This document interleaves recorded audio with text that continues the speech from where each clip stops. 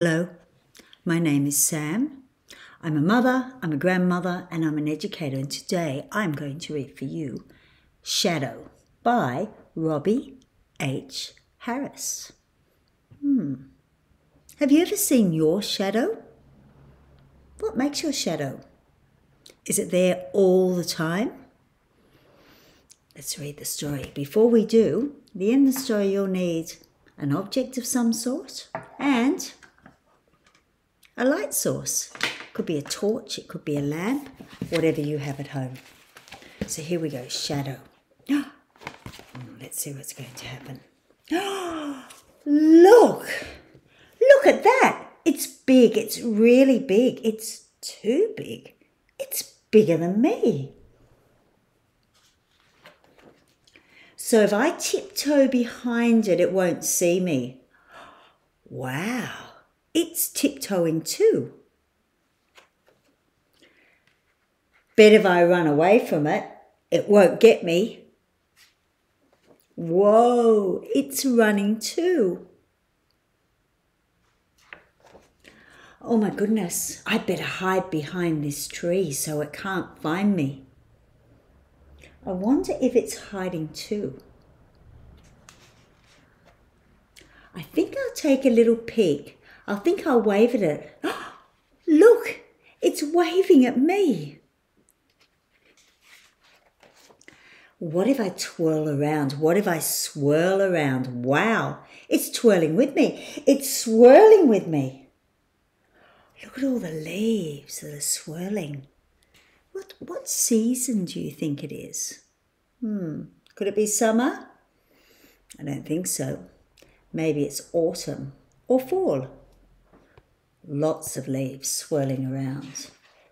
Hey, let's wiggle our hips, stomp our feet, spin so fast it makes us dizzy.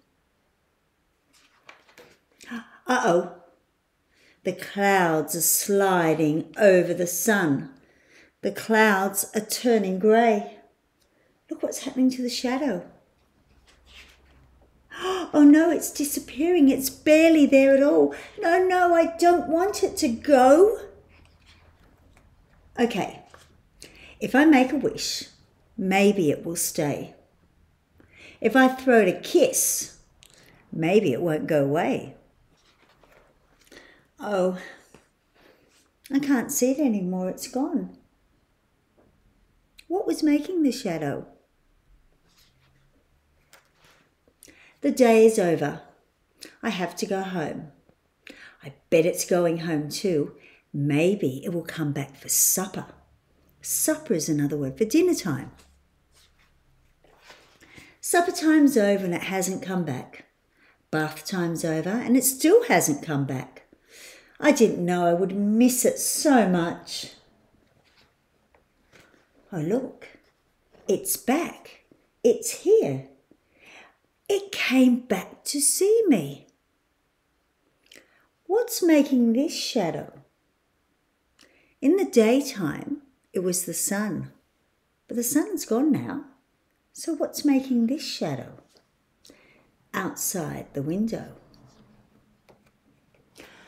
I just yawned. It yawned too. I'm tired. It must be tired too. And when I as fall asleep, I bet it will too. But now something else is making the shadow.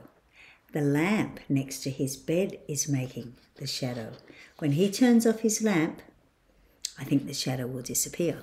So that gave me an idea that we could make a shadow. Shadows are really interesting.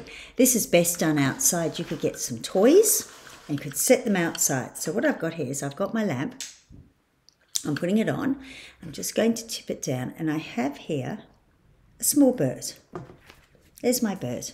And as you can see, there's only a little bit of shadow because if this was the sun, then the sun is overhead and it's shining down on my bird. So it creates a small shadow. But when the sun is rising or setting, it creates a longer shadow. Can you see my shadow changing? It is getting longer.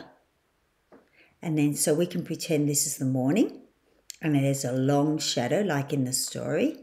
And then lunchtime comes and the shadow is shorter. And then the sun starts to travel across the other side of the sky and it gets longer again. You could line up a whole load of toys in your garden and see what sort of shadow they make and then go back and visit them throughout the day and see how they're changing. This is my bear. Next to no shadow. And now there's a much larger shadow. The shadow is actually bigger than my bear now. And then back to midday. And then longer again.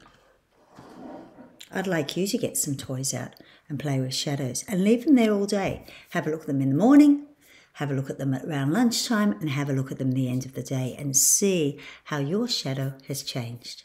Take care. Goodbye. Be nice.